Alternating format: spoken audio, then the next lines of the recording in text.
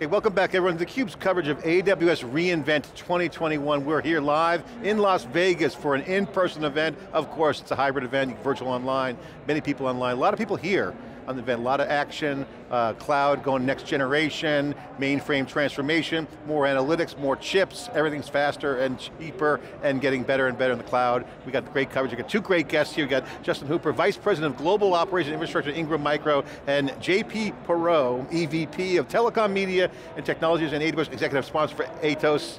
Gentlemen, thank you for joining me on theCUBE. Thank, thank you, you, glad to be here. So what do you think about the conference so far? Pretty good? Like a lot of a lot of people here. Super exciting. 27,000 people yeah. showing it's up. It's amazing. Re real people, not yeah, workers. I, it feels almost normal.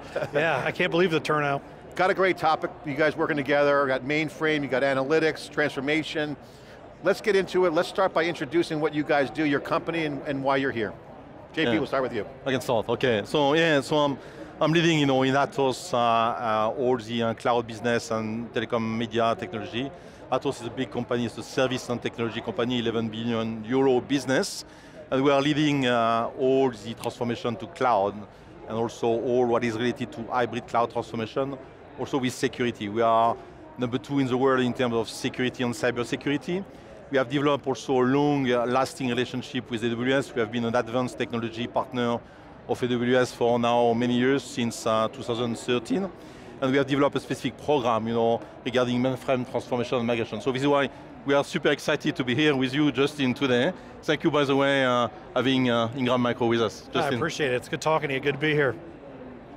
And I'm Justin Hooper, I work for uh, Ingram Micro, I run their global infrastructure and IT operations. Ingram Micro is one of the world's uh, largest technology suppliers, technology, technology solutions, and uh, cloud platform and services. Well, great for the intro, thanks for that setup a lot of action going on. You guys recently um, purchased, you guys got transformation in the cloud. What is the movement to the cloud? Take us through the current situation. Yeah, we see, uh, we see a big acceleration, and especially due to COVID, COVID situation, we have seen an acceleration of transformation to cloud. There is still a lot to do, a lot to do, because there are many uh, business critical applications which have not been transformed, and also especially all the applications which are sitting on top of mainframe. That's why exactly the discussion we have with Ingram at the moment is how we can help Ingram with some of the applications that are on mainframe to transform and, and design the future. Just to take us through the transformation that they're helping you with. What's the key challenge? What problem are they solving? Take us through the, the specifics. Yeah, it's interesting because um, I'm actually a, a, a, lover of the mainframe. I think most of the people at AWS would think, uh, the mainframes, didn't they put the, the rockets on the moon? That's old technology, but mainframes are still fantastic platforms. Um, uh, we, we have great success, great resiliency. Uh, with Atos, we are on the most modern chips, but um, there are a lot of restrictions. Uh, you know, you really have to size your mainframe for your peak workloads. You don't have the ability to uh, separate, segment, scale horizontally. Uh, and then there are really nuance like um, it's hard to get resources that know mainframes. To be honest with you, it is just, there's a people issue there industry-wide, um, and, and we're not different than any other company and compete for resources, um, both on the system side and on the programming side, and we really want to look at, at how we can make a massive leap if we're going to leave the mainframe, how do we start a journey where we can end up really being able to take advantage of horizontal scalability, the ability to um, have a utility compute model where we're really paying as we go, uh, because that is the opposite to how the mainframe model works today. Talk about the refactoring, because I know I've covered a lot of uh, mainframe stuff with IBM in the past, and how banks are still using it, everyone, they're real applications, they're mission critical. How are they integrating into the, into the digital transformation? Containers, Kubernetes are hot right now, you're starting to see a lot more integration. How do your customers, and how do you guys see refactoring happening? I can see the integration, but how does the refactoring there's, come in? There's really, uh, what we've learned with, with, our partnership is, there are really a couple of ways to, to do the refactoring. You can convert your old COBOL code to something else like Java, and there are tools and companies out there that do that. Um, or you can really build a plan where you can effectively emulate uh, your mainframe on commodity computing. And uh, through a, a, relatively deep analysis with Atos, the recommendation that we're looking at is that ability to first get off of the hardware, um, get off of that reliance on the platform, but not jump all the way to modifying your code to Java. There's not a lot of value in going from COBOL to Java, for example, if you're not making improvements in your programs, adding business capabilities. So the journey starts with get off the hardware, but then it allows you to go and say, uh, we're going to break up those complex programs, we're going to separate the data differently, and once you do that, you can start to take advantage of containers and start to separate yourself even more and really get into the cloud. But, but there, there are ways to, to piece your way through that. You know, that's really good insight. JP, I'd love to get your reaction on this too because what Justin's getting at is what we hear a lot from uh, experienced CIOs of large companies that have a lot of existing stuff. And the, and the theme is, and the word they use is, you don't want to touch the white hot core, meaning it's so mission critical that if you mangle it too hard, touch it too hard, a lot of bad things happen. So this idea of push things out to the cloud that are on the edges and then work your way slowly in is a, is a risk management and practical approach. No, exactly, you said it right, it's exactly risk management. So, uh, and Justin explained it, uh, there are different factors which come to the end point in terms of decision. There is one, one issue regarding uh, competencies, because there is a lack of competency on the market. There is what kind of uh, business critical apps you have. Uh, there is a transformation as such, you know, as uh, Justin explained, you can record, or, or, you, can, you can move you know, to a different platform. So each time it's a program. It's a program and analysis that yeah. we do with our customer, advising the customer about, hey, based on your, your critical application, what is the right journey, what is the right transformation to do the right risk management.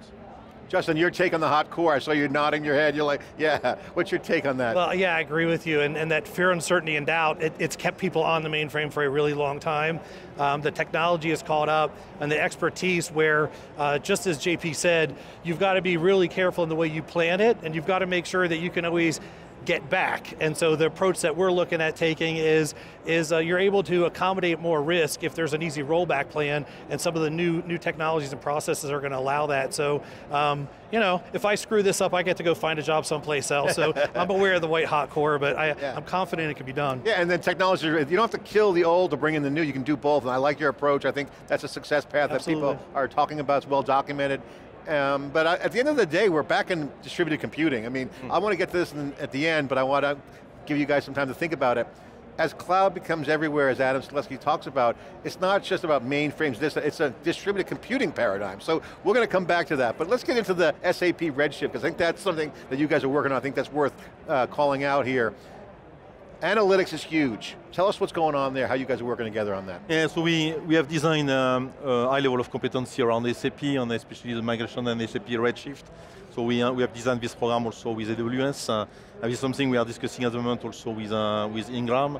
So we see an acceleration of, um, of this trajectory.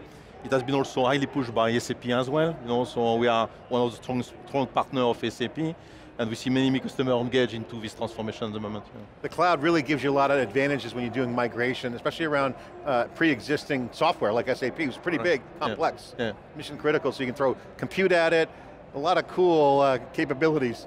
Yeah, that's true, but you, you, need, you still need to configure a lot of things as well, because it's, uh, you need to customize, and you need to really fine tune, you know, what is it what is it going to be available to the customer needs and to what you need in our company as well. I mean, this gets back to what Justin was saying about emulation. I mean, I can run SAP on Amazon. I mean, we talked about, I wrote, I wrote this story about, I wrote a story about this prior to the event called Super Clouds. You can build these super applications that combine things that you never would have thought was possible. SAP running on Amazon or porting onto Redshift when you need it. So you have a lot more flexibility. This is now the new normal. Correct, correct. Justin, maybe you want also to comment well, on that. You know, you know uh, the great thing about being on Redshift is we picked that as a platform for our data warehouse a number of years ago, and there were basically analytics capabilities, but what we're seeing a lot here at reInvent is, is Amazon is catching up with their out-of-the-box ML and AI capabilities in Redshift.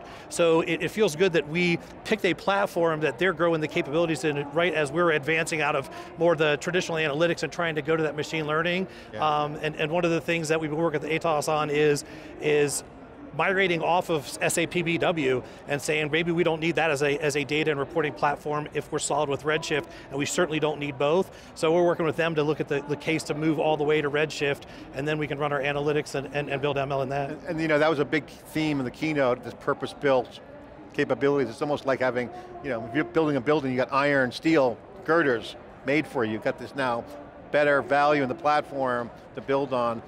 This brings up the, the uh, notion of distributed computing. Yeah. In a way, there's the same game, different generation. I mean, isn't it? You got to integrate, there's still transformation, there's inflection points. This is current. I feel like this now more than ever is a time where you can actually roll it all together with a little help from your friends or if Amazon's got something you don't want to reinvent the wheel.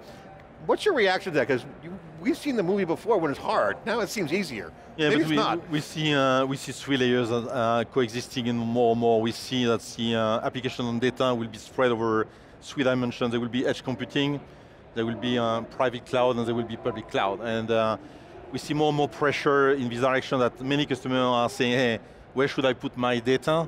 Uh, this, this part will go uh, and be processed at the edge, this part will be processed in the public cloud. It's also one of the capability we have in Atos. We are able to advise customers about what is the best way to process your data. If you have a lot of latency, you can process at the edge. You know, there is uh, less requirement, you can process in the public cloud. So we see this coexistence of model. Justin, what's your take on this uh, distributed computing throwback concept? Because look at the rise of companies like Snowflake. Where'd they come from? They're on Amazon. They picked the cloud, now they're on going to other clouds.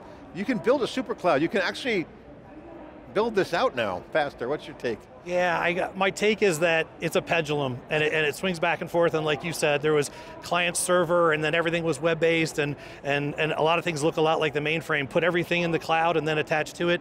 And then all of a sudden, you know what, we need edge computing. Pull some stuff back out of the cloud and put it where we need it. So, so it's going to continue to evolve. What, what I have noticed um, that I like more is, is the major home one swings and, and statements like, I want to get out of the data center business and go to the cloud. I hear those less. And people are realizing there's, there's hybrid, there's purpose-built computing like you said, and we need to make sure that we're putting our data where it needs to be, putting our compute where it needs to be, and that's going to change on our customer base and evolving technologies. 5G yeah. is changing the whole world around edge computing, so, so uh, I, am enjoying the ride. I, am glad I'm in technology because I get to move with the ebbs and flows, but um, I don't think we're ever going to land. I think it's going to keep Yeah, moving. and that, that's a totally fair point where it's fun uh, as a technologist, but you're right. If you're operating cl with cloud, doesn't matter if you're on premises or edge or public cloud, it's the same thing. Yeah.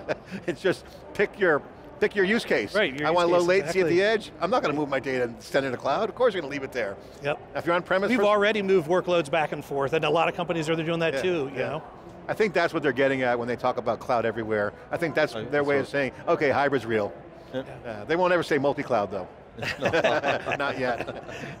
we won't hear that here. All right, quick summary. What are you guys doing? What's the future hold for the relationship? You guys got a good thing going on.